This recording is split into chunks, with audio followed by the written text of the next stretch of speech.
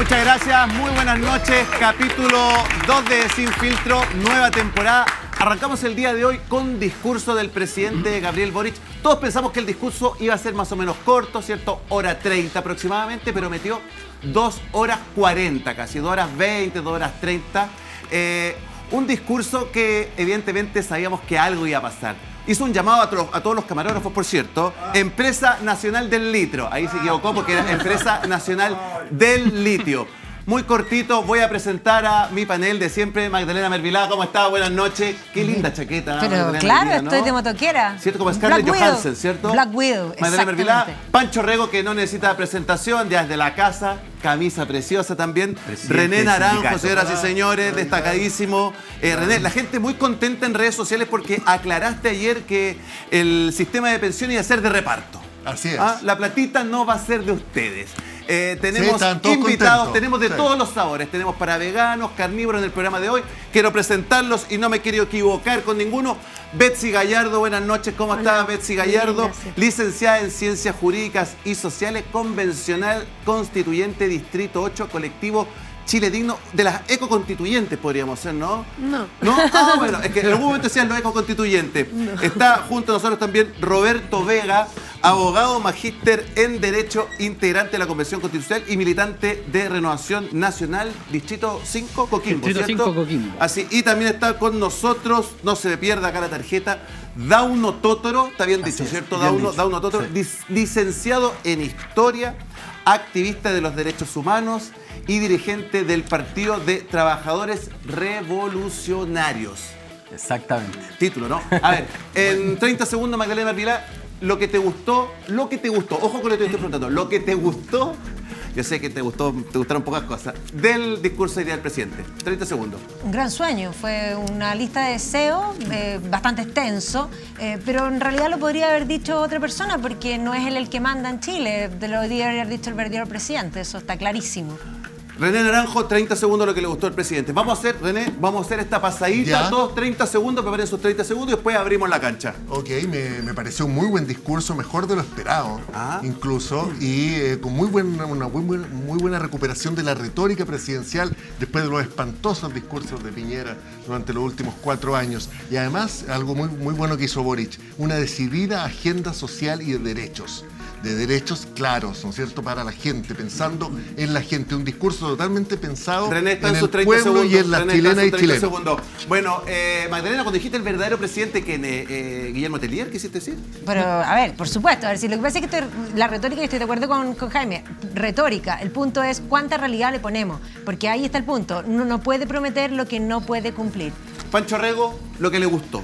Eh, la escenografía muy linda, eh, el Congreso siempre muy lindo, que se hayan cumplido los protocolos muy bien, eh, pero más allá de eso, creo que el respaldo que le dio el presidente de la República a Carabineros de Chile, hablar un poquito, olvidarse de esto del concepto de la refundación de Carabineros y hablar de una reforma que vaya en, en beneficio de aumentar la seguridad pública, cambiando su discurso en, en una nueva voltereta del presidente, me parece muy adecuado, así que bien en esa materia. Don Dauno, Yo rescataría la retórica porque realmente con Piñera era lamentable, pero todo lo demás me parece que es continuidad eh, de lo que venía haciendo Boric. Yo no vi tanta voltereta. Yo vi una continuidad de abandonar la discusión de la reforma de carabineros y empezar a, respalda- a respaldarlo, eh, de empezar nuevamente de, de- No, sí, por eso, ya no hay voltereta. Ya no hay voltereta. Después vamos a abrir la Eh, cancha, Pancho, Fue un discurso para complacer a quienes son también parte de su gobierno, que es la exconcertación, por eso invitó a Juan Sutil. Es decir, un discurso, yo ahí eh, no coincido con le hizo, René, le hizo guiño, con hizo guiño de la empresarios, le hizo guiño, le hizo cariñito a los empresarios. Eh, don Roberto. Una bonita puesta en escena también, un gran manejo de las cámaras, pero más que nada hecho de menos un discurso. Creo que el discurso fue a mundo mágico, no al mundo real que tenemos y todos sabemos que mundo mágico cómo termina ahí cerca de la estación Pajarito. Espero que a Chile no le pase lo mismo. Eh, Betsy. Bueno, yo creo que fue un muy buen discurso nuestro presidente. Eh, evidentemente siempre va a tener nuestro apoyo como Chile digno y creo que hay muchas cosas dentro del discurso que se pueden destacar. Primero, el tema de la verdad, justicia y reparación a propósito de eh, la dictadura, pero también a propósito del estallido social, eh, donde se le delega una responsabilidad a Fabiola Campillay. Eh, también el reconocimiento a la, rural- a la ruralidad, el reconocimiento a las mujeres, a las disidencias, el reconocimiento a la niñez. Y sobre todo construir un Chile más justo y mejor que lo que esperamos desde Chile Digno y lo que esperamos de Prodigno. Muchas gracias, Betsy. Ok, ahora vamos a entrar de lleno, abrimos la cancha, se van a poder relajar, van a poder disparar. Magdalena Mervilá, entremos de lleno en las promesas, sueños, 2 horas 35 minutos aproximadamente. ¿Qué es lo que más te causó ruido? No, es que a mí lo que me, sucede es que, a ver, cuando uno sueña algo, el sueño puede ser extensísimo. Yo siempre doy el ejemplo que si yo me quiero hacer en una casa y digo, ya, quiero un ventanal de lado a lado, voy a cotizar. Y cuando cotizo, ¿Ya? veo que no me alcanzan las lucas, pues entonces no puedo hacer el ventanal de lado a lado. Y termino haciendo una ventana arriba, que efectivamente si me subo a un piso, veo el sol, veo el mar.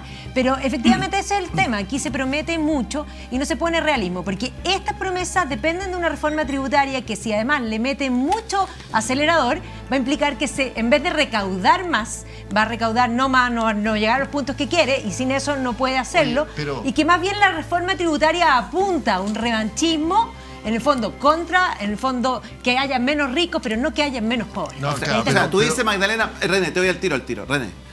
Tú dices que acá hay un revanchismo y que Sin esto duda. es sacarle a los ricos, no es recaudar, sacarle a los Es que ricos. lo que pasa es que la René, reforma tiene que pero tener espérate, recaudación sabemos que, Magdalena. Magdalena, Magdalena, René, sabemos que cada uno escucha lo que quiere oír, pero Magdalena, tengamos un poquito de, Bueno, de ¿y cómo sentido, de, de ¿Cómo las sentido de lo que se dijo realmente en el texto. Sí. Hay algo que quiero destacar, o sea, en- en- al comienzo del, del discurso, el presidente dice, mejorar Chile requiere de un proceso de largo aliento. O sea, aquí no hay ninguna promesa así de que, oye, vamos a arreglar esto, vamos a juntar una lucas y vamos a hacer una cuestión. O sea, tiró la No, pelota lejos. pero es que en la realidad los problemas de Chile son profundos, son complejos, y él lo dijo, y se requiere conciencia histórica y responsabilidad. Yo creo que en, la- en las dos horas de discurso, eh, Boric manifestó un sentido de responsabilidad muy importante, muy importante, y su compromiso es con, como bien decía, decía, decía Bessi, ¿no es cierto?, con todas estas causas, pero también con el deseo de construir un país que, y eso requiere más tiempo. ¿Te fijas? O sea, también está pidiendo él un comprom- nuestro compromiso para, para mejorar el país. Él usó esa palabra, mejorar. Entonces aquí no hay, una, no hay un ofertón, no hay una cosa de sueño en el aire, castillo en el aire. No, hay un deseo eh, bien presentado de construir un país que tiene graves problemas. Creo que eso es importante decirlo. Este es un presidente que, toma, que tiene, tiene clara conciencia de, la- de la complejidad y profundidad de los problemas del Chile del 2022. Roberto, ¿usted quiere decir algo? Sí, lo que pasa es que, y un poco acompañando aquí, hay que pagar con algo. Ya estaba leyendo acá, hay un fondo de reparación económica, hay una serie de situaciones, pero hay un informe muy, importante de las expresas hacia la convención y que dice que si no respetamos una tran- eh, normas eh, transitorias que realmente tengan conciencia, en Chile va a haber desempleo, falta de inversión y por supuesto menos recaudación fiscal. Por lo tanto, toda esta gran promesa con la nueva constitución, si es que no sale moderada, se va a caer y va a ser un verdadero desastre. Pancho, usted está muy callado. Sí, yo, yo creo que hay que irse un poquito más, más a- hacia atrás en el tiempo, toda vez que, como decía nuestro panelista Dauno, acá hay una voltereta del presidente evidente desde que, era, desde que era parlamentario, ahora que es presidente de la República. A mí me extrañaba mucho ver a este, a este presidente dándose tantas volteretas en, en sus discursos. Es un presidente que cuando era oposición junto a su conglomerado político te votaba en contra del estado de excepción constitucional en la macrozona sur, que te votaba en contra de los estados de excepción en general, y que después cuando fue presidente lo primero que hace es renovar el estado de excepción constitucional en la macrozona norte y después cede ante las presiones y termina renovando el estado de excepción constitucional en, en- en la macrozona sur. Es un presidente que cuando era oposición te votaba en contra del aumento de los delitos contra bomberos, en contra del aumento del delito del, robo de madera, que votaba en contra de la ley anticapuchas, que votaba en, contra de la ley antibarricada, que cuando era oposición reivindicaba las barricadas como, como me- me- mecanismos válidos de acción política. Bonito, Que- decía. era- un, era un presidente que decía que tirar una piedra no era un acto de, de- de agresión, ¿ah? y que cuando la recibió él, puta, se, se Bueno, tuvo que dar cuenta. cambiar- es un presidente eso- que cuando- es un- y René, cambiar dame un eso segundo, no es termino, puro termino de ver el realismo panel político. completo. Ah, termino de ver el panel completo. Es un presidente que cuando era No, oposición presentaba, presentaba una ley para derogar la ley de un, un proyecto de ley para derogar la ley de seguridad interior del Estado Oye, y resulta que cuando es gobierno aplica y presenta nueve querellas por ley de seguridad interior del Estado. Entonces, acá los anuncios presidenciales, este listado, este listado de, de este listado de supermercado con estas cositas bonitas, da lo mismo si mañana te puede decir lo contrario. Oye, pero pasa, pasa, René, René, Eso pasa- es realismo político, René, pero eso es pasa- sentido de la René, René, René, responsabilidad. René, René, René, Pero pasa que el presidente No está la versión Boric diputado, la versión Boric candidato, la versión primera vuelta, la versión segunda vuelta y la versión presidente. Bueno, no, René, muy, muy, muy- claro en esto. Él es hoy el presidente de Chile, lo ha dicho, de todas las chilenas y chilenos, y él tiene un sentido de responsabilidad. Y por supuesto que lo está asumiendo. Yo no sé por qué Y, se molesta. y- y eso implica contradecirse, ¿Pero claro. Yo, yo- algo. lo que no entiendo es el tono molesto de Francisco, porque. Justamente Boric en la Araucanía está gobernando como Piñera, decretando estado de emergencia. Sí. Oye, pero Ahora, hay- yo hay quería. tema- sí, acotado, pero acotado. Pero acotado. A ver, a ver, Bueno, pero vamos a ver, a escuchar, muchacho, muchacho, muchacho, muchacho, muchacho, mira, muchacho, muchacho, eh, muchacho. ¿Puedo terminar? Yo escuché pasar oh, me lo mutea, me lo mutea, me lo mutea, mutealo, mutealo, mutealo, mutealo, mutealo, mutealo, mutealo. Señores. Dauro, Castigado hizo todo. estado de excepción acotado. No existe. Mira, mira, que opine qué significa lo que es realmente acotado cuando tienes militares en Oye, las calles no controlando a civiles. Ahora, no yo creo que hay que partir un Pancho. punto antes, un punto antes, porque eh, nos hablan mucho los panelistas de la derecha de posibilismo, de, de, de la moderación, de que se va a escapar la inversión, pero ese es el chantaje de toda la vida, de que no, No, se pueden hacer transformaciones disculpa, no, porque no, lo- hay lo plata, dice porque se van a escapar los en el informe de inversionistas. la Pero, Pero, Roberto, página Roberto, 40, Daudo, 45. Daudo, Daudo. para el mercado financiero de- informó que en abril la- los bancos tuvieron una ganancia de 680 millones de dólares. O sea, ya no, pero en. Chile no hay plata para seguir eh, Daudo, eh, eh, transformaciones. Roberto, y el problema, y termino con esto, ¿puedo terminar? Y termino con esto. Y el problema es que Boric está gobernando para eh, el- el- hoy- y a- al servicio de la presión que ha ejercido la derecha. Eh, porque finalmente de eso se trata sus volteretas. Por Ganamos eso metió al PS. Por eso metió al PS en el Ministerio del Interior. Por eso metió a Mario Mercel. eh, no, no, no, pero no, no, no, muchacho, muchacho, evidentemente, muchacho, y por eso dije han cedido las presiones de la derecha. muchachos. Evidentemente, Roberto, Roberto, Roberto, Roberto Vega. Primero hay un presidente que no reconoce que hay terrorismo en la Araucanía. Él lo titula graves atentados. O sea, no hay terrorismo, es un mundo especial el que había Gabriel Boric. Segundo, lo que hablamos de la falta de inversión lo dice el mismo gobierno en el informe de las Express. Página 40-45. Va a bajar la inversión, va a haber desempleo que- que no y se va a haber menos recaudación grande y se fiscal. terminaba Eso significa chico, como si que no los hubiese grandes recursos de Chile. plata las promesas no se van a poder Momento. Roberto, cuando se trata de normas transitorias dentro de una, de una constitución, y eso ambos lo sabemos, se, se trata efectivamente de que las de que las nuevas medidas que se tomen por políticas públicas, etcétera, sean en tiempos acotados y sean en tiempos que les permitan al Estado efectivamente poder llegar a hacer reformas. Como punto uno. Segundo, decir que hay revanchismo en la reforma tributaria, yo creo que no es revanchismo. Evidentemente, aquel ¿Qué sería? Que, o sea, es justicia distribu- de- distributiva, porque es evidente que cuando tú ganas más, tienes que pagar más impuestos. Y esto no eso- solamente pero pasa eso- pero en Chile, que- pasa pero en que- muchos países pero del mundo. eso es lo que pasa en todo el mundo. Ahora, el que más gana por eso, paga entonces, más. decir que hay revanchismo por una, una reforma tributaria que No. puede afectar a los más ricos es realmente una mentira. Sí, Ahora, Chile no pasa. Hablar de esta, no estas a eso. volteretas que ha dado el presidente Boric, yo creo que no son volteretas. Gabriel Boric lo está haciendo con responsabilidad, con responsabilidad fiscal, lo está haciendo con responsabilidad política, ha escuchado a la, a la, a la macrozona sur, por ejemplo, y por eso se mantiene un estado de excepción constitucional acotado, pero estado con- de excepción constitucional ¿Tú crees que ha escuchado a la macrozona Pero sur? lógico que lo ha escuchado, porque si no retiraría el estado, estado de excepción constitucional. No, tiene estado de excepción acotado y ahora en unos Pero días más tiene que venir al. Congreso a largarlo. Eh, entonces- Magdalena, Magdalena, Magdalena, Magdalena. No, lo que yo le quiero preguntar a Dauno, porque eh, en el fondo ya te quedó claro cuál es un poco tu visión. ¿Qué es lo que quisieras tú como un gobierno? ¿Qué es lo que tú esperarías para el gobierno ideal? ¿Cuál es tu sueño? ¿Voy? Sí. Bueno, eh, ¿Y a mí me parece que eh, eh, aquí en Chile, después del estallido social, de la rebelión popular de octubre, se planteó claramente que había un amplio sector que exigía demandas y transformaciones profundas. Se exigía el fin de la AFP, una salud, educación pública digna. Para cumplir todas esas demandas hay que afectar la ganancia empresarial, hay que afectar a todos aquellos que se enriquecieron durante los 30 años que fueron denunciados justamente en esa, en esa rebelión que todos sabemos que costó violaciones sistemáticas a los derechos humanos. Y me parece que hay que justamente esa ganancia ponerla a Ya. disposición de la Pregunta, necesidad de la gran ¿dónde- mayoría. Pregunta, pregunta. Dauno. Yo quiero un poco aterrizar y quiero llevarlo un poco para que la gente y para que los que nos están escuchando eh, comprendan esto. ¿Dónde se ha aplicado eso que tú planteas? ¿Qué cosa? Ese tipo de gobiernos o que tú estás planteando. ¿Hay una parte donde se ha llevado a la práctica?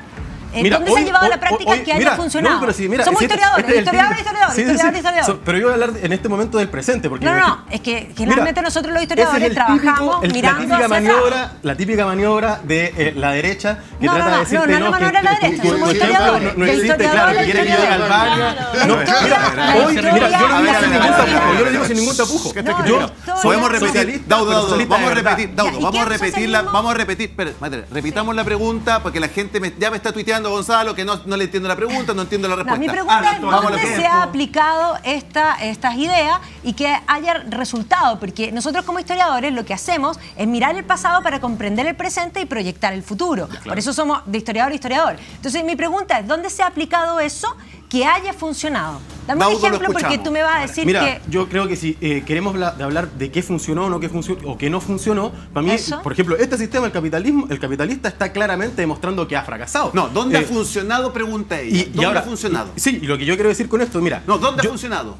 Yo soy socialista. Ya, pero ¿dónde ha funcionado? Te ha funcionado el socialismo? Yo hoy no reivindico a Venezuela te me estás arrancando. Ya, Venezuela. No yo no, Venezuela. acabo de decir, no reivindico no a Venezuela, funciona, porque nosotros queremos levantar un socialismo de abajo, Cuba, que no tiene nada que ver con la ¿dónde, ¿dónde funciona? Nosotros tomamos ejemplos históricos como, por ejemplo, cuando fueron los trabajadores de Chile en los años 70 que lograron eh, ¿Dónde levantar. Eso es lo que estoy diciendo. Le estoy respondiendo. Estoy respondiendo. Los trabajadores de Chile con 1000% de inflación, ¿a eh, eso te refieres? No, los trabajadores de Chile que fueron capaces de tomar el destino en sus propias manos, se autoorganizaron. Pero hablemos del bloqueo. Pero puedo explicarlo. Mira, Muchachos, silencio, por favor. Bajamos, teléfono, bajamos, bajamos los micrófonos, bajamos los micrófonos, bajamos los micrófonos. Estamos todavía tratando de entender dónde ha funcionado el sistema que está poniendo Dauto. Dauto, ¿dónde ha funcionado? Nosotros Lo que te pregunta ¿Dónde? ¿Qué país? Sí.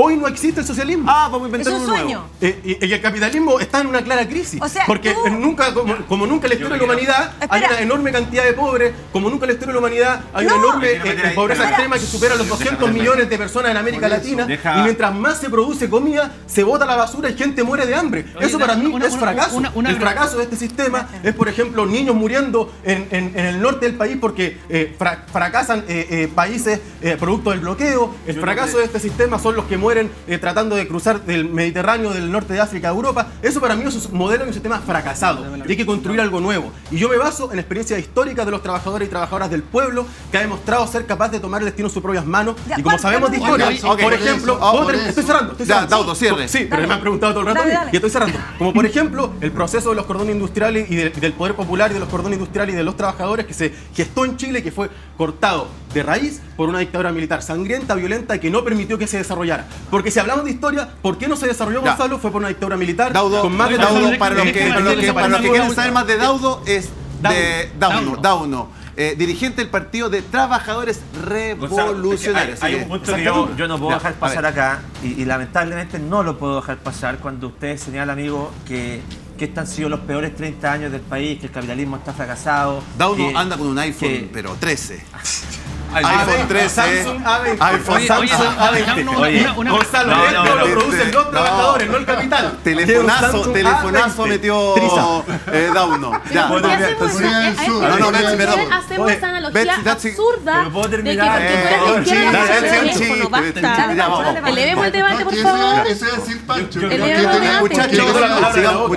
con el programa, por favor. Esto es mucho más importante y hay que hablarle a las familias que nos están viendo en sus casas, a esas familias que han logrado superar de forma intergeneracional la pobreza. Esas familias Downer que conocieron lo que es la, po la, pobreza en este país en la época del 50, del 60, esas familias de clase media, dentro de las que yo me incluyo, que cuando les entregaron su casita propia, que era pareá, se entregaba con losa, compadre. Uh -huh. Porque no se entregaba con Hablemos más de las familias de clase media hoy día que no terminar? pueden acceder a una vivienda. ¿Puedo terminar? ¿Podemos hablar de eso? Hoy las familias no, no pueden acceder a una vivienda. Betsy, te juro que voy contigo. Betsy, si ustedes quieren debatir, lo primero en un debate sano es que nos escuchemos y nos respetemos los tiempos. Entonces yo no voy a hacer un discurso cinco minutos como lo hizo mi compadre, porque bueno, no me preguntaba tanto. Me preguntando. Voy a hablar 30, si estoy de acuerdo. Entonces, no, Daudo le pusiste yo, el cassette. Es que yo le quiero hablar a, esas familias que, cuando dicen que han sido los, peores 30 años de la historia de este país, ustedes acuérdense cómo vivían en la época del 50 y del 60, acuérdense cómo se entregaban las casas, acuérdense cómo se entregaban los pasajes de tierra, los patios de tierra, que las casas se entregaban sin reja, acuérdense cómo usted se sacó la cresta trabajando para tener su propiedad privada. Hay muchos modelos, hay muchos modelos de construcción. O, o, te, pido que te calles es que, por la buena o, qué onda, compadre, porque en esta dinámica, en esta dinámica, te voy a pedir por favor, me está amenazando por quinta vez. Que por favor te calles. Perdón, Gonzalo. Por favor te calles. Dame 30 segundos. Dame 30 segundos. Perdón, es que solamente discusión se calientan un poco. No, René, ¿Eh? déjame terminar. Déjame interrumpir, por favor, hombre. Deja de mentir. Déjame. Deja de mentir. Ya, René, bueno. Pero después después tú replicas. Replícame lo que quieras, pero déjame terminar. Por favor, amigo mío. Por favor. Deja de mentirnos. Entonces...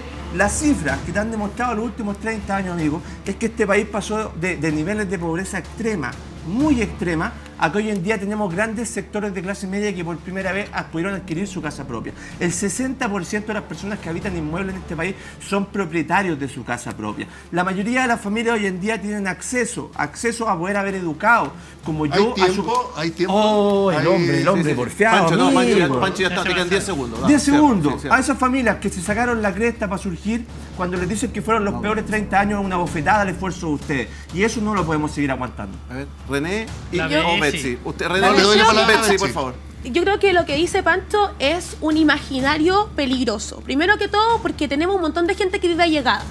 Estamos con índices de campamentos a nivel nacional que son gigantescos.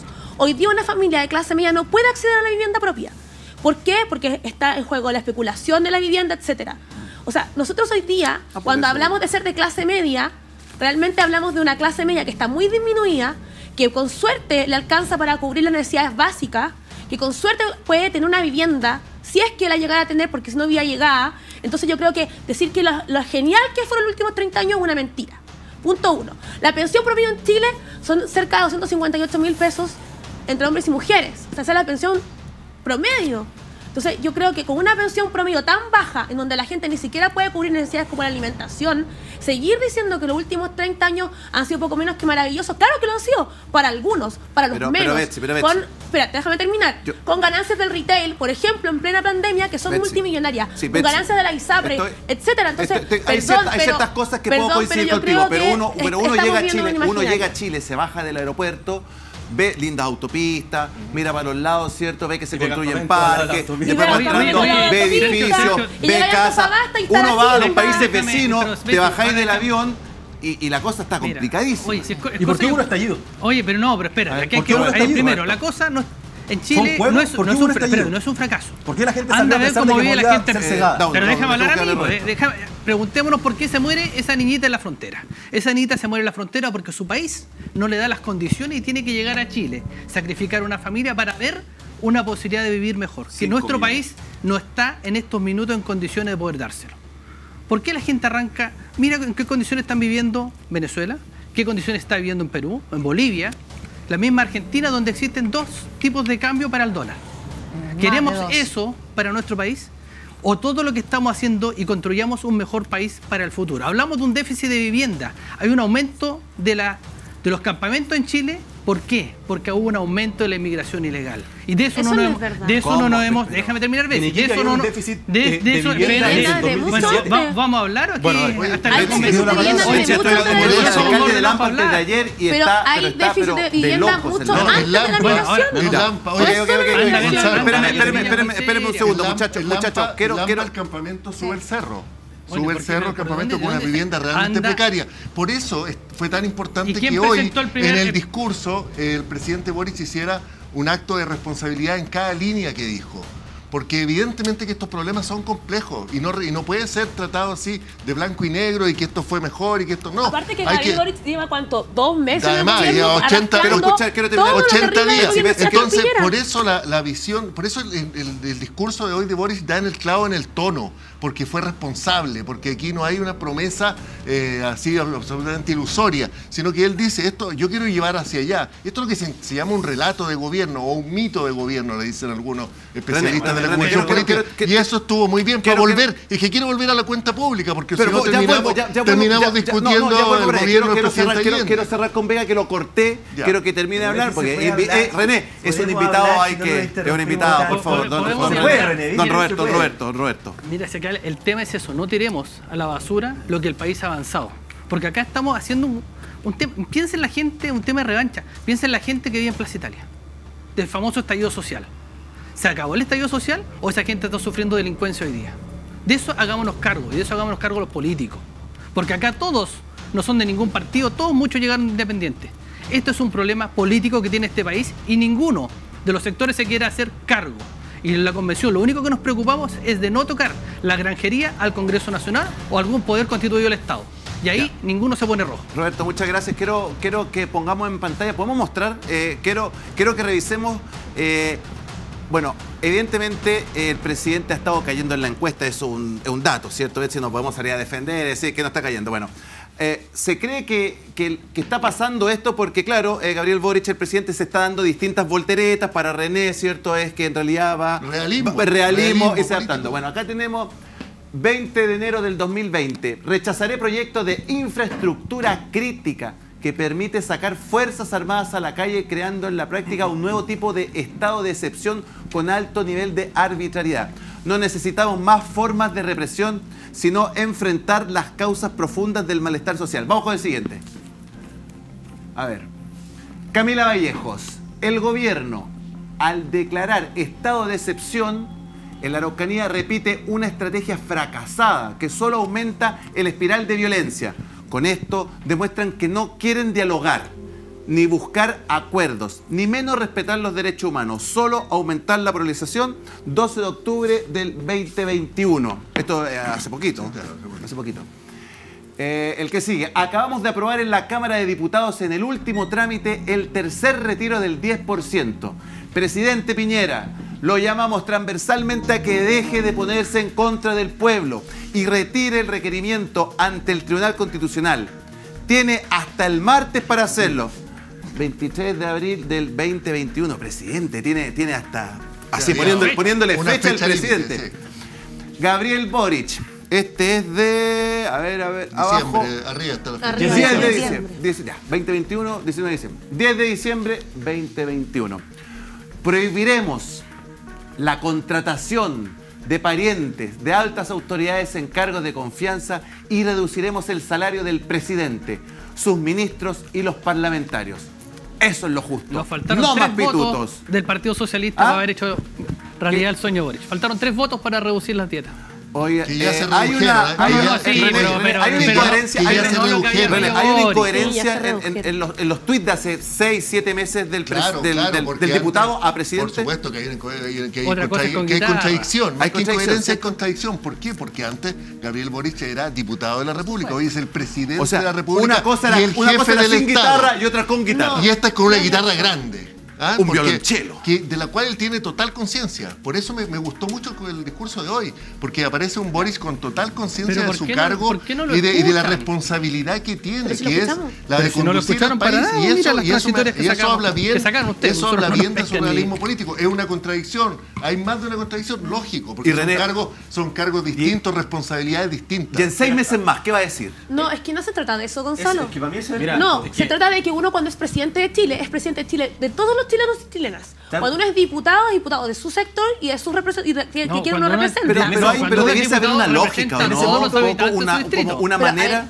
o sea, convengamos una cosa. Él es presidente no de un sector político, él es presidente de todo un país. ¿Ves si te hago una Ahora, consulta? él tiene que responder evidentemente a las necesidades ¿Ves de la cómo van a ciudadanía. gobernar ustedes? Porque ustedes son el gobierno, sin, en el eh, imaginativo, se aprueba esta constitución. No haber estado de excepción constitucional. Si hay estados de excepción constitucional, ¿Cuáles hay? ¿quiere que lo busquemos? Porque tenemos borrador léame. acá. ¿Tienen estado de catástrofe? ¿Te ayudo? Busquemos los Asamblea, estados de excepción asamblea emergencia, Bueno, no, no, no, no, no hay estado de Pongámosle emergencia. cronómetro a ver si a ver, No hay a ver estado si de lo pilla emergencia. rápido. A ver si hay estado funciona de la emergencia. wifi. Gonzalo, espérate, que acá partimos de muchachos, muchachos, muchachos. Pero si yo me- Si No, no, no, baje, el micrófono, baje el micrófono porque si están hablando todos, no, no podemos, no podemos si están hablando todos. Pancho, sigue hablando, Pancho, sigue hablando. Pero si ustedes no Eh, votaron nada. eh, ¿Cómo que no votamos nada? Vega, Vega, Vega, por favor. ¿No votaron a favor? ¿Cómo que no Por votamos? favor, por favor, muchachos, porque si no la gente en la casa me empieza a decir, feito, que no se entiende lo que están hablando, que gritan todo. ¿Encontró lo que estaba buscando, Betsy, o no? buscando, porque Ya, tengo ya, el borrador. ¿Lo tiene? Déjalo que lo encuentre. ¿Lo tiene o no lo tiene? No lo va a encontrar. A usted. ver. no, lo va, Ay, Gonzalo, no lo va a poder encontrar. ¿Usted no lo tiene? Yo lo Yo tengo. no sé cuáles son. Ah, lo tiene acá, La, constitución vigente te establece cuatro estados de excepción constitucional. Asamblea, sitio, catástrofe y emergencia. Los dos primeros casos de guerra interior o, o- o casos de conmoción interna. Lo que se está eliminando ahora con el borrador de propuesta de texto constitucional es el denominado estado de emergencia. ¿Y cuál es Ya. el que se aplica en la sur? Que, que es efectivamente el que nosotros utilizamos como Entonces, lo que herramienta te pregunto, jurídica para disculpa, poder Pancho, lo que desplegar- se pregunta, para pero- poder desplegar a nuestras fuerzas armadas en la macrozona sur a objeto de que resguarden la seguridad de todos los vecinos que harto mal que lo están pasando en ese sector. Con el borrador de propuesta de texto constitucional, esa herramienta jurídica que hoy en día tiene el. Estado desaparece. No, desaparece. Y desaparece conjuntamente con otras atribuciones súper importantes, como por ejemplo quitarle el estatus de militarizada Ya, acá lo tengo. Pero mira, lo- encontró. Solo se podrá suspender el asesor nomás. ejercicio de derechos y garantías civiles Fontaine, espera. mentiroso de miércoles. y las todas las personas bajo situaciones de excepción, conflicto armado, conflicto interno, según establece el derecho constitucional. Y después empieza a enumerar todos los Ya, articulados de, ¿cuáles de excepción constitucional. Sí, no están- Asamblea, Ya, Ya. lo Ya. tenemos. Por guerra. Bien, bien. Por guerra, Sí. sí. ¿Ya? No, pero habla del conflicto catástrofe, Ya, Ya. muy bien. Catástrofe, tsunami. Tsunami vino. Ojalá que no nos toque la presidenta Bachelet, sino. No lo arregle Betsy ahí. No, no lo estoy arreglando. No le estaba metiendo en el ¿Y Word. qué le estaba- no, no puedo meterlo tampoco. No lo armonice, no lo armonice. Oye, sí, el, el Word de la... No lo armonice, Sí, Betsy, no me lo armonice. En, en- en mi casa Está el de estaba acá. emergencia también. A ver, ¿Dónde está de emergencia. A ver, ¿A dónde está Pero emergencia? ¿Dónde está? Pero mira, Artículo vamos 20, al- artículo... al- al- Dice, al- ¿cuál es la? Eh, pero mira, mira, mira, mira. emergencia, no. Ejecución de las La medidas... excepción. Los actos de presidente o eliminó. presidente la- eh, o el jefe de Estado de excepción que tengan fundamento en la declaración de Estado de excepción constitucional deberán señalar expresamente los derechos constitucionales que se suspendan o ¿Y restringan. dónde está el de emergencia? No lo veo. Los estados de Sí, sí excepción está. constitucional No, no, emergencia. al presidente el ejercicio... No mienta. Es convencional, asamblea, sitio, y catástrofe. Se eliminan de emergencia a si fue la discusión que se está dio. Bueno, mismo. discusión. Mira, Oye, oye, por otro sistema No de- Pancho. Pancho, Pancho, Pancho. Espera, espera, muchachos, muchachos, muchachos, por favor. Betsy, Betsy, por favor. René. muchachos, señores, señores, es que si no la gente, la gente no los escucha en la casa, porque si hablan cuatro, imposible. Por Esto favor. es más fácil. Mira, el estado Pancho Rego. Asamblea, sitio, catástrofe, se elimina el estado de emergencia. El estado de emergencia. Comisión número uno, sistema político, ya se votó, ya está en el borrador. Pancho, Pancho, si es más fácil. Está en el borrador. Son ya. convencionales. Es más fácil, no más saben fácil. lo que están Ah, votando. Oye, oye, oye, sitio. oye, oye. Ahí está el cuarto, está. estado de sitio. No, no, No, no. Sí. asamblea, Esos son los que sitio, están ahora. catástrofe. Pero No. estamos hablando de la voltereta de Boric. No, no, espérate. El tema, es. Asamblea, El sitio, tema es más simple. Yo le pregunté No. a ver. Asamblea, sitio, Pancho. Pancho. Deja de A ponerle esa cara, Pancho, porque sabes que, men- que estás Pancho, mintiendo. acá es más simple. Messi, es artículos, más acaban de leer. Sí, te acabo de leer los Y se cuatro lo digo el texto por, por favor, el texto No, no, no, y de. Asamblea, sitio, catástrofe. Búsqueme el de emergencia y yo me cambio a militar en el Partido Comunista. Encuéntreme el de emergencia y me cambio al Partido Comunista. Eh, Ojalá. Oye, es más fácil. Ya, muchachos, Es muchachos, tranquilo, tranquilo. A ver, Sergio, mucho más fácil. Roberto. La semana pasada, cuando estábamos en Antofagasta, le preguntamos al Contralor, Lindo, lindo. lindo despliegue, Lindo muy bonito, le pregunté al Contralor, yo mismo, Ya. ¿cómo van a gobernar o qué van a hacer ustedes si no hay estado de emergencia? Y la respuesta del jefe de la unidad jurídica fue, deberíamos ingresar a la brevedad o se debería hacer, mi opinión personal, una reforma, porque el estado de emergencia, Bessi, no está. Mira, yo entiendo que la derecha está un poco déjame, desesperada. da- da- porque- puedo decir una, una sola cosa yo. A mí, a mí lo que, a mí lo que me sí, pasa, a mí lo que me pasa es que cuando escucho a Roberto y escucho a Betsy y Roberto o Pancho dicen que no está y Betsy dice que está, uno como votante, ¿cierto? Que tiene que ir el 4 de septiembre a votar, dice, chuta, a ver, voy a tener que agarrarme el manual, Queda a ver si está o no está. Entonces al final uno dice, acá hay alguien que está mintiendo. Yo aposté, mira, Entonces al final uno que hace, Yo aposté. dice, uno no sabe qué hacer. Yo Yo entiendo No. que la derecha está un poco desesperada, preocupada por el tema del estado de emergencia porque tienen bastante acostumbrados o nos tienen bastante acostumbrados a gobernar sacando los milicos a la calle. Uh. Eso lo vimos, nosotros somos historiadores y bien lo sabemos, ¿o no? Colega historiadora. Sí, tú- y lo vimos además en historia, eh, recientemente como ocurrió en el estallido social y lo vimos además hace pocos meses cuando sacaron los militares eh, a el territorio mapuche. Eh, es Pero- una especie de pero el receta. presidente- el presidente eh, Boric lo sacó. también, no, también, a eso voy. Es una receta bien conocida de la derecha Pero la y que parece que lo Boric sacó. lo está aplicando, justamente. Yo por eso soy muy crítico a este gobierno. Yo me considero de oposición de izquierda a este gobierno. que hacer otra porque ha aplicado. Usted de oposición a de Gabriela. izquierda. De izquierda. De oposición a la izquierda. cierta- porque mira, son, son nuevas personas gobernando, pero con viejas recetas. Nuevamente sacan a los militares a la calle en el caso de la Araucanía. ¿Qué pasa cuando sacan a los militares a la calle? Asesinan gente Sí. inocente, No, como no, no, Escúchame, no. Jordan Jempi, 23 años, asesinado Hay- en el patio hay- de su casa. amigo, Ayer 48 detuvieron a los dos miembros de la Marina responsables de ese asesinato. Esos son los resultados No de sacar a los simple. militares a la calle. No como también simple. los que se mencionaron incluso hoy día en la cuenta pública, Manuel Rebolledo, que fue asesinado solo- por los militares, asesinado por los militares. Entonces, yo entiendo que tengan miedo porque es su receta para gobernar. No. necesitan a los militares para sacar no, cuando Una pregunta, Magdalena, escuchar. Dauno, Dauno. Primero, Tú, crees profunda, espérate, tú tranquilo. crees profundamente en los derechos humanos, ¿cierto? Totalmente. Ya, tú eres trotskista. Exactamente. Ya, y siendo trotskista, ¿cómo dices que la gente gobierna con la violencia si fue un carnicero que implicó y aplicó el ejército rojo en la revolución rusa? hecho, el- tú eres historiador, querido. El ejército rojo se defendió entre 14 ejércitos imperialistas que estaban invadiendo Rusia. Por favor, si hablamos de. Oye, historia, yo a oye, una me pongo- de la cuenta a. Oye, ver, a ver, a ver, a ver, a ver, a ver, salgamos de Trotsky, salgamos de los rusos, los ucranianos, salgamos, salgamos. Muchachos, bajen, bájamelo, bájame los micrófonos, bájame los micrófonos, bájamelo, bájamelo, bájamelo, bájamelo, porque volvamos al tema que nos decir Magdalena. Que está la superioridad moral definiéndose trotskista ni comunista. Cargan con más de 150 millones de muertos en la historia y Con- se levantan como los defensores de los derechos humanos. Perdona, oh eh, Perdona, yo creo, yo creo que o sea, no es así, no es así y no nos vayamos por ese lado. Libro negro del comunismo escrito por estructuralistas franceses, ni siquiera ni uno de derecha. no puedes decir que los uno cargan con derecha. 150 Nosotros millones. fuimos perseguidos los Bencelio, no puedes decir eso, En la historia, en la historia, decir eso, es un 60 dato que no millones es más. Vamos suma, suma, suma, solamente, suma. Yo ni siquiera saqué el tema de violación. Pero nosotros los Oye, trotskistas pero ¿en qué momento nos hablemos de, muchachos, hablemos de uno, hablemos de uno, no, no, no, no, estamos yendo para otro lado, no estamos yendo para otro lado. A ver, a ver, a ver. No, no, a ver, espérense, muchachos, bájame los, bájame, bájame los micrófonos, bájame los micrófonos. Ya, no, señores, señores, señores, señores, Pancho, Pancho, no, yo quiero hacerle una otra pregunta. Aquí yo anoté en mi papelito el discurso. Eh, eje número dos. Siete materias constitucionales, pregúntame. No, no, no. Eh, Eje número dos. Ya. Queremos una agenda de medios plural.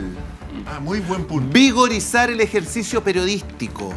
Protección a periodistas, trabajadores de la prensa, pluri- pluri- pluralidad de los medios, medios que incomoden al poder, decía Sí, Gabriel claro. Boric, y resguardar la libertad de prensa. Y Camila Vallejo va a estar detrás de todo esto. Magdalena, ¿qué te suena ese especial episodio que le dedica a la prensa? Me parece tremendo porque es querer controlar la prensa. La libertad de prensa existe cuando hay libertad y cuando el Estado no se mete. Cada vez que el Estado se mete, deja de haber libertad. Eso no Así es que eso es una cierto. contradicción Eso no es René, ya voy a absoluta. Eso es una contradicción en. Eso es una contradicción en sí misma. A ver.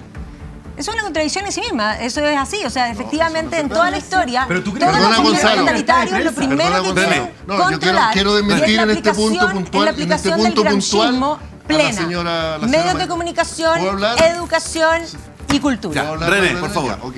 Eso no es cierto en países europeos, que, son- que son el ejemplo en esto. Eh, tienen televisiones eh, estatales, tienen varios canales de televisión, varios, varias estaciones de radio, tienen diarios, ¿no es cierto?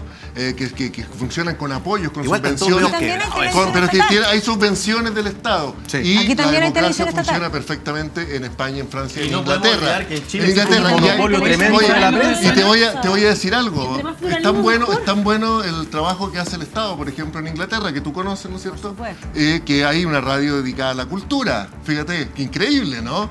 Ah, Eso que en Chile es inimaginable porque el sistema neoliberal Pero no hay un canal cultural, no considera un nada de eh, eso. un canal No, NTV. Hay radio y hay un canal de NTV. televisión y hay canales de televisión A lo- culturales a como la lo que me 2 en España. Sí, Qué increíble, a mí lo que ¿no? me suena es que Esas lo que cosas pueden Gabriel Boric- ocurrir cuando el Estado, Sí. que somos todos finalmente, todas y todos, No, el Estado es no cierto? somos todos, el Estado son un Participa, montón de es una- burócratas, es no una- somos A- todos. a mí lo que- a mí lo que me suena es que el Ah, presidente- se dedica, ¿Pero se dedica a el pensar en la gente. Oye, oye, oye, a mí lo que me es, suena el es que el Estado pre- son unos imagínate- No hay- burócratas. Cada vez que el Estado se eh, persona, muchacho. viene el intendente, viene el gobernador, pero el Estado dejemos nunca ha. Una dejemos- hablar a los invitados. El Roberto El dejemos hablar. Dejemos hablar. El Ahora, Estado. Muchachos, el dejemos Estado hablar. y te La democracia saludó. exige Estado. Nadie dice que no exista el A ver, a Estado, pero el Estado no debe ahogar a los individuos. Magdalena, dejemos, hablar, a los invitados ahora. Betsy, por favor.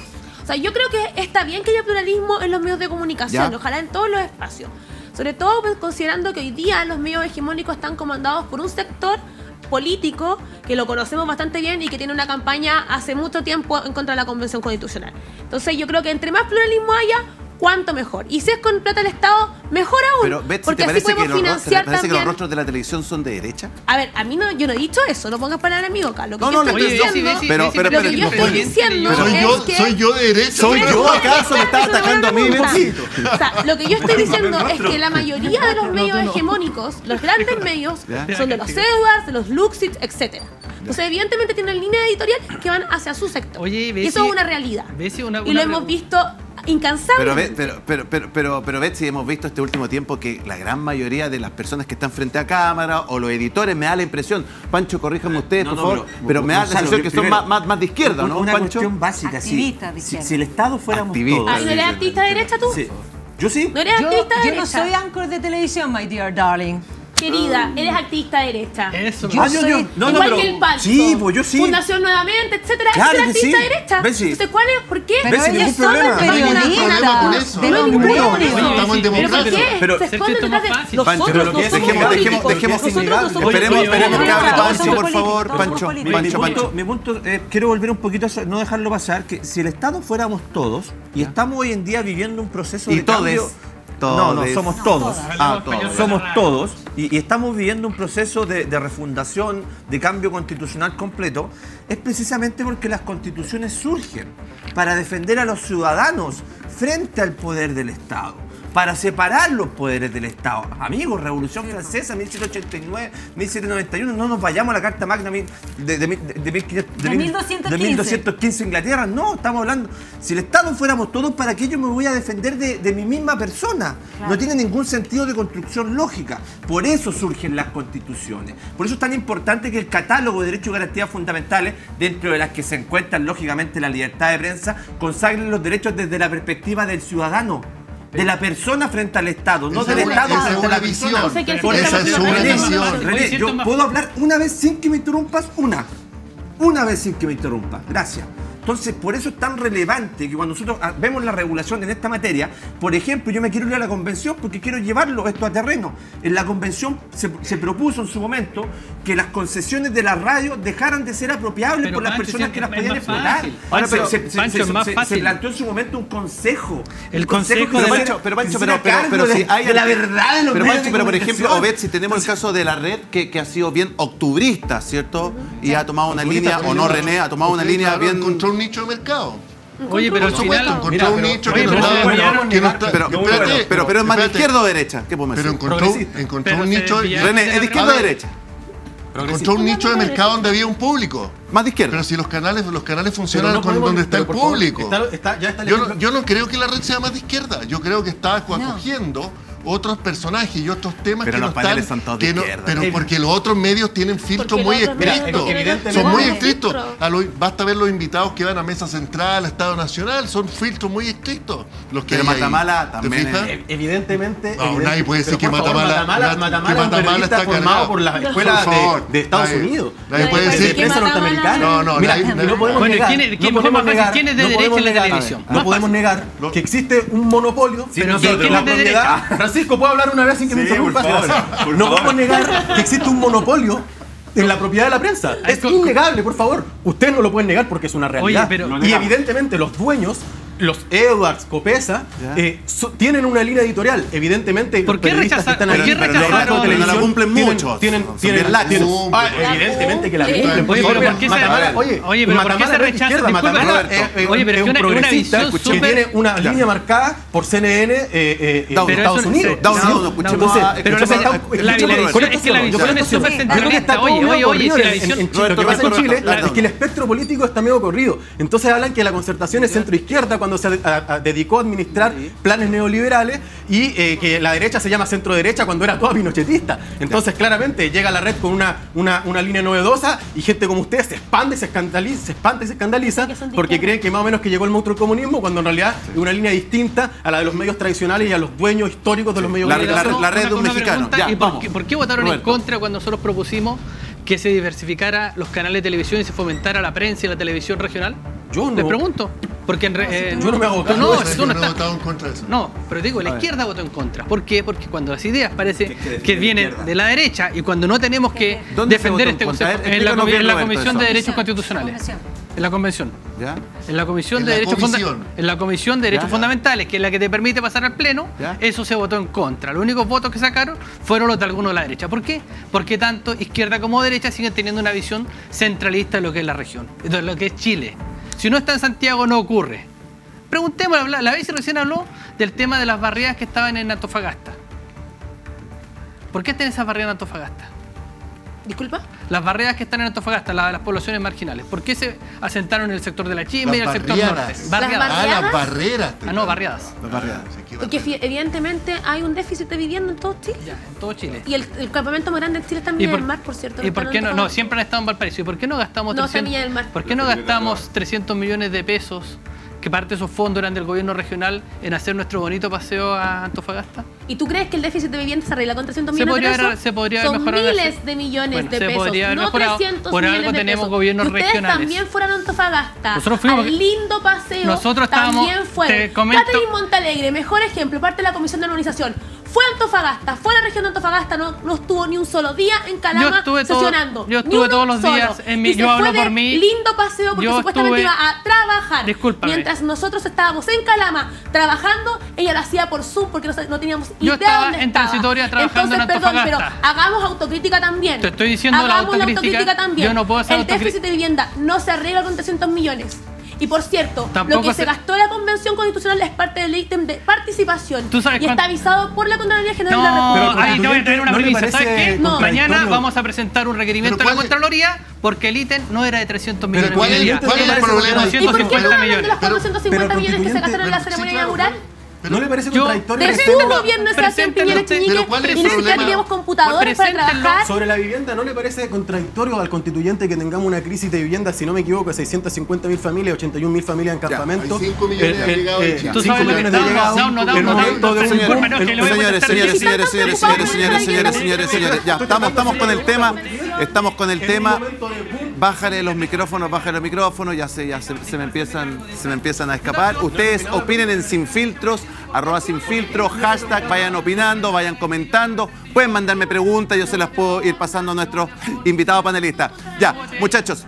Muchachos, escúchenme, escúchenme, Oye, por favor. pero- Quiero que veamos la siguiente gráfica. Los voy a sacar un poquito el tema, los quiero llevar a otro tema. Ponga la gráfica, por favor, eh, capitán. Ahí está. Aprobación presidencial. Esta es encuesta Pulso Ciudadano, ¿cierto? CADEM, esta, esta es CADEM.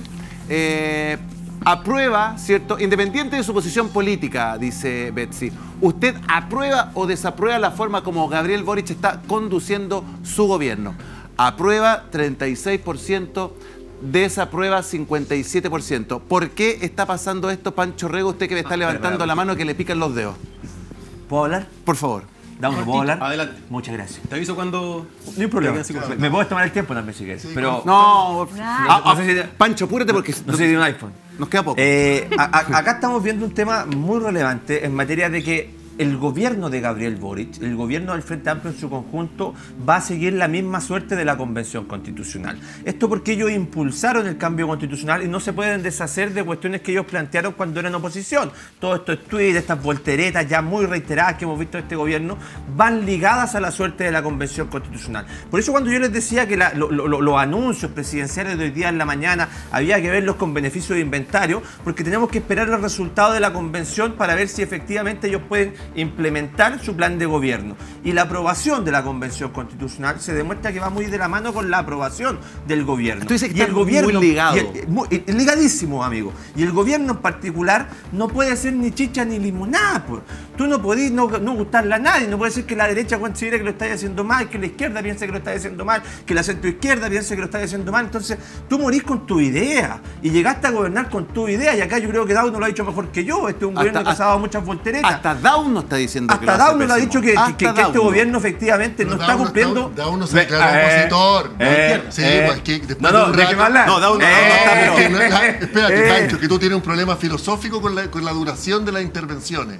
Cada- después de los 30 segundos. ¿Cómo es eso? A ver, después de ¿cómo los es? 30 Problema filosófico. Claro, Pro- después de los- problema de- filosófico con las Exacto, después de intervenciones. los 30 segundos el argumento ¿Cómo ya empieza. No, que después de los 30 segundos el argumento se vuelve redundante y las demás personas que escuchamos respetuosamente Sí, pero yo respetuosamente tenemos te ganas de escucho- te- intervenir te porque ya estamos, muchas cuestiones estamos que son repitiendo. falsas. Ya, ya, a ver. Y- y- y- y- Eso y- lo que Pancho, Pancho, De- dejemos programa, dejemos perdón, la pero- tesis naranjo de aquel diputado que se pegó su discurso Ya, ya. bien, bien largo, un, un poquito de lado, Ya. para ir cerrando con que este gobierno en particular impulsó el cambio constitucional y no se puede de- decir con la suerte que tenga la convención constitucional. Por eso cuando yo te digo que es un gobierno que no es ni chicha ni limoná, es porque no le está gustando ni a los sectores de izquierda más radicales Viste, que lo impulsaron, lo ni tampoco a dicho. Los sectores de derecha que lógicamente no estamos muy conformes con lo que ha sido estos dos meses de trabajo. Entonces, ese es el Pero punto de fondo. Acá hay dos instituciones que siguen la misma suerte y lamentablemente para ellos no se puede Daudo, quiero escucharlo a usted.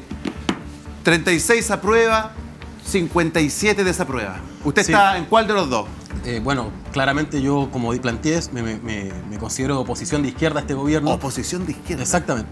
Porque me parece que el gobierno no es que haya tenido muchas volteretas. Ya. El gobierno tomó una decisión estratégica Ya. en la segunda vuelta para ganar la CAS, aunque en realidad CAS se, dio- se demostró que hasta un chanchito de Grea podría haberle ganado la elección porque no era muy buen candidato en segunda vuelta, pero no, no deci- está claro, ah, no deci- está claro, decidió, decidió eh, derechizar su discurso.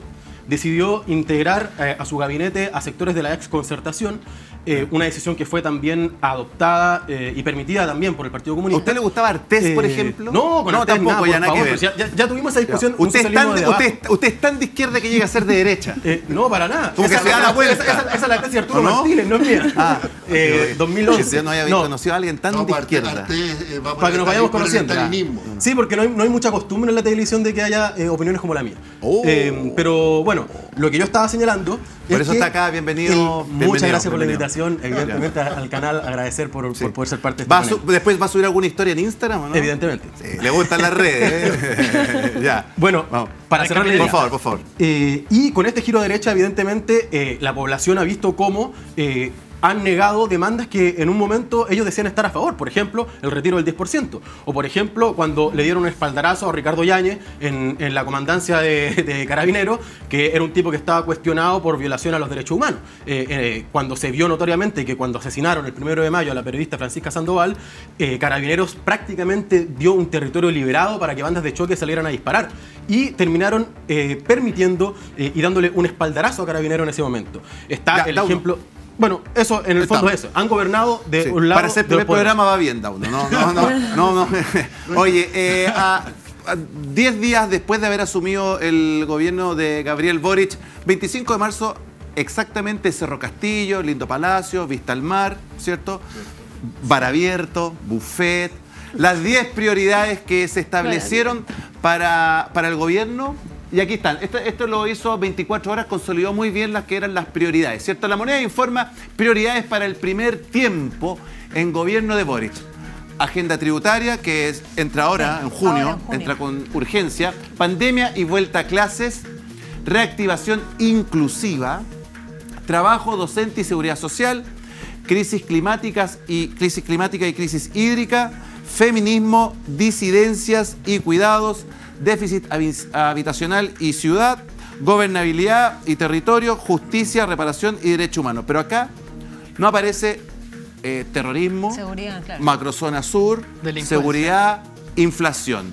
René, Bueno, desconexión, claro, claro. poco empatía. No, yo creo que son los problemas que se producen cuando tú asumes el gobierno. O sea, esa- esos temas todos Pero, estuvieron... pero todos inflación, estos- ven- inflación Claro. venía pegando, Bueno, hoy, hoy- venía. hoy el presidente habló de ese tema y lo dijo. Yo sé Lo que las cosas están caras, lo dijo súper claro. Oye, Sí. estos temas estuvieron hoy Incluso día. dijo que iba a haber, a haber acciones a favor de las personas que sufrían violencia Estamos- rural. Exacto. Estamos en un país- estamos en un país más es que- inseguro, René. Es que por eso yo hablaba del realismo, al comienzo de este programa hablaba del realismo de la cuenta pública, porque también el presidente Boric asume que ahí había temas que faltaban y que están en la preocupación de las personas, de chilenas y chilenos, con el precio, Pero, pero, el pero, precio de los alimentos. pero- hay más- la gente vive más insegura. También hay, o sea, se, han, han aumentado los delitos y también se ha Pero generado la, la, sensación de inseguridad. Claro, pero es que la sensación tiene que ver con la, con la percepción y cómo se construye la opinión pública. En eso contribuyen también los medios, contribuyen las redes, ¿no es cierto? O sea, se Pero, va René, si todos los días no, están por supuesto, gente. no, pues si hay hechos. Si todos Si yo, digo, no digo que no haya. El ajuste que de pasa- cuentas subió un 70% por supuesto, en el claro, claro que sí. Y por eso el, el presidente habló del tema hoy día. Por eso presidente, entonces eso me parece que está en lo correcto. Ahora yo creo que eh, no descuidemos que eh, se genere una sensación de, la inseguridad muy extrema. ¿No es cierto? Y en eso, también eh, hay influencia de los medios y de las redes, eso es evidente. ¿Te fijas? Pero los problemas existen y por eso Boris los tocó hoy día. Y a mí me parece muy bien. Y lo que decía Dauno, hay un montón de problemas que, que hay en Chile, claro, pero tú no los puedes abordar todos de golpe. Eso sería insensato. Magdalena, tiene que ser sí. progresivo. Magdalena, una, una administración Es- del poder tiene de que ser responsable. Magdalena, es problema de los medios, eh, es realidad, es el buenismo. No, yo diría que aquí hay dos cosas. Hay cosas que son reales, ciertamente hay una, una violencia instalada, pero también hay una responsabilidad de los medios de bajarle el perfil eh, y así como aumentarle el perfil a otras cosas, eh, que hace que las cosas se ve- sean vistas de una manera distinta. Por ejemplo, nosotros tenemos hace mucho rato en la Araucanía literalmente y abiertamente terrorismo, pero lo llaman violencia rural. Eh, y eso ya te dice mucho, te Me dice una postura.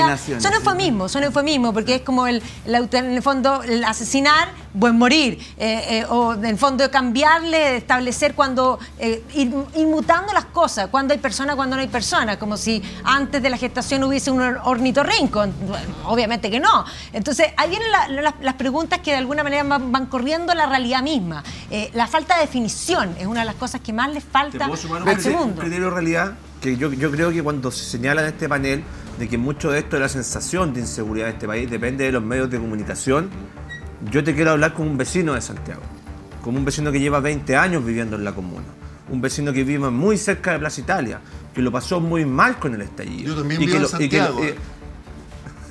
No, yo también, ya No ando, ya ando aprender, asustado. Ya, yo voy a seguir No, hablando ando porque tú me interrumpí, yo voy a seguir hablando. Igual uno Entonces, anda más vivo. Yo le doy disculpas a la gente en la casa porque voy a seguir asustado. hablando, se va a escuchar dale, la voz de René Naranjo por detrás, así como interrumpiéndome a cada rato. Ya, dale. Entonces yo como vecino del centro, nos- nosotros no hemos dejado de vivir estos hechos muy graves de violencia todos los, todos los fines de semana. Esto, esto no se ha creado por la prensa. Esto pasa cada vez que nosotros tenemos que evitar Plaza Italia para poder llegar a nuestros departamentos y tenemos que tomar avenidas alternativas. Tenemos que bajar por Santa Isabel, tenemos que pasar por el otro lado del Mapocho, tenemos que evitar Oye, el Parque Bustamante, en tenemos que, evitar la calle Carabineros de Chile. Definitivamente. Entonces Bueno, acá... parece Siria. Mentira, parece Siria. no, O sea, no, no, el no. centro parece Siria. Betsy, Betsy, Tremendo. no, no, no es para, días centro no de es, Siria. no, no es, Parece- espera, espera, no, no es para reírse, por favor. No, no es- yo ahí te pido no un poquito. Me estoy riendo. Es que No, yo- no, yo- no, no. Cualquiera diría que vivía en un país en guerra. Am- Amiga, yo estoy hablando, No estamos- estoy no estoy hablando riendo. por los Cualquiera diría vecinos. que vivimos en un estoy, país en estoy guerra, y al hablando, menos yo, que estoy vivo en un estoy hablando y voy a seguir diciendo que estoy hablando porque estoy en mi tiempo de hablar, entonces me sola, diciendo a no, que si no, no, no se entiende, bájalo, bájalo, porque si no no se entiende nada, no se entiende nada. Pancho, Pancho, cierra, Pancho, cierra la idea y, y Betsy voy contigo. Los vecinos de Sí, a mí Santiago me Centro. Be- Betsy, voy parece- contigo, que termine Pancho, Por favor. Estoy hablando por los vecinos de Santiago Centro, de todo el eje de la Alameda, de, de- de Parque Bustamante, que lo han pasado muy mal. Eso no lo ha generado la prensa de vecinos. Nosotros sabemos que Eso eso es se ha real. generado real, viernes a viernes. Y por favor, por favor, yo te pido que no nos burlemos de todos aquellos vecinos que lo han pasado muy mal. Familias que han tenido que criar a su hijo recién nacido con las ventanas cerradas porque el olor a lagrimógena, Pancho, compadre, Pancho, me queda, es Pancho, asqueroso. Pancho, me ¿Quién queda un dispara? minuto. Plaza Italia, Pancho, me queda un Santiago. minuto. Betsy, por favor, me queda un minuto. No, Te- sea, te- un minuto, le estoy Yo- dando yo- un minuto, un minuto, le- Dale. Yo creo que el tema del fenómeno de la delincuencia es una cuestión que no se arregla con aumento de penas, no se arregla con aumento de cárceles, es una política integral y a largo plazo. De partida en este país no hay salud mental. El 1% del presupuesto Ahora en van a salud haber, eh, 12 se- centros, profesor Claro, presidente. Oye, en, la gente lo- en el- no ley de presupuesto solamente no el tenemos 1% del, del presupuesto de salud se dedica a salud mental. Entonces tenemos un montón de gente que realmente tiene eh, consumo problemático de sustancias, niños y niñas y adolescentes que también lo tienen, que por cierto delinquen, cometen delitos, etcétera. O sea, yo creo que el fenómeno de la delincuencia no es una cuestión al corto Betsy, plazo ¿se soluciona con diálogo? Se soluciona más que con diálogo, con diálogo, salud mental, mejores con viviendas, con mejor fuerza. educación Ya. y con mayor seguridad. Betsy, Betsy. Eh, Roberto, Bueno, lo primero que en las regiones 30 segundos, Roberto. En las regiones también tenemos delincuencia, también tenemos inseguridad, no solamente es Plaza Italia, los vecinos de La Serena se han manifestado ya dos semanas seguidas, no hay respuesta del delegado presidencial, tenemos un tremendo problema con la gobernadora y lo que hay que decir a los vecinos, vecinos Chile está cayendo en manos de la delincuencia y depende de nosotros saber si esto va a seguir o poderle dar un corte el día 4 ¿Con de diálogo o septiembre. con fuerza? Con respeto a la autoridad. Listo. Daudo, 15 segundos. Eh, 15 Daudo, segundos. perdón, 15 Yo he segundos. escuchado Chile está cayendo en, la mano de la- en las manos de la delincuencia hace- desde que tengo uso de memoria. O sea, eh, porque también ese discurso se ha utilizado para instalar una agenda represiva eh, anti-derechos humanos. Eso hay que ser muy claro. Ahora, evidentemente, si es que aumenta la inflación, si es que aumenta el desempleo, si es que aumenta la crisis social, que no es solo eh, producto de Chile, sino por una eh, circunstancia internacional, es probable que aumente la, eh, este tipo de conflictividad. O sea, el que y eso saquea, no se va a resolver. Mira, la pero- metieron pero el tema- 17 años pero de el tema- pero el prisión, tema- pero el tema-